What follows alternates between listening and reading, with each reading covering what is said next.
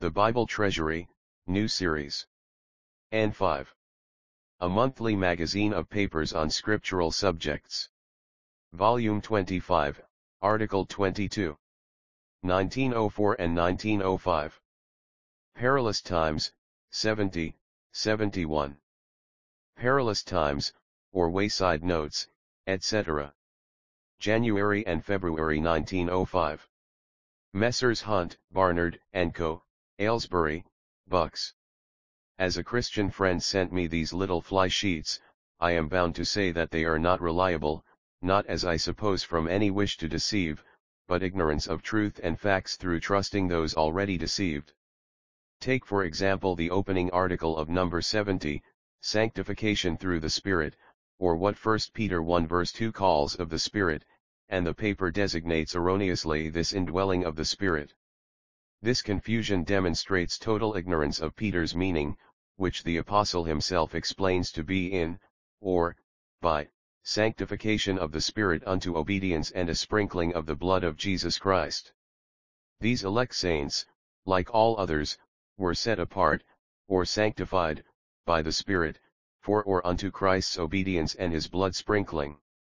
The truth is here reversed, for the expositor clearly means that it is the Spirit's indwelling after blood sprinkling. This I hold to be taught elsewhere.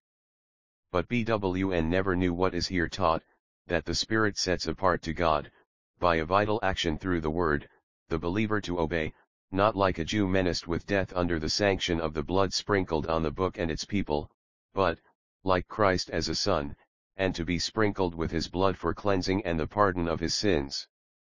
Mr. N held the blunder of papists and Protestants alike in overlooking this quickening operation of the Spirit leading the soul unto, EIS, Christ's obedience and his blood sprinkling, not the practical sanctification which is accompanied by his indwelling.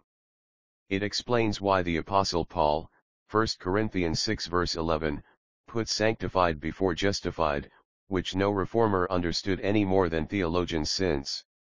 Hence they either evade such texts or boldly pervert the inspired word to suit their own shallow views of scripture like Theodore de Beze.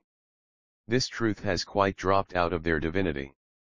The statement in 71, page 3, column 2, near the bottom, is the direct reverse of the facts.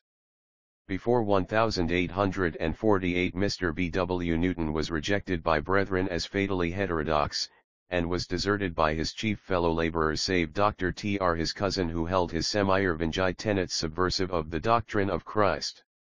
Before that evil scheme was discovered, Mr. N.'s followers had been treated with grace but from 1847 they were rigidly refused.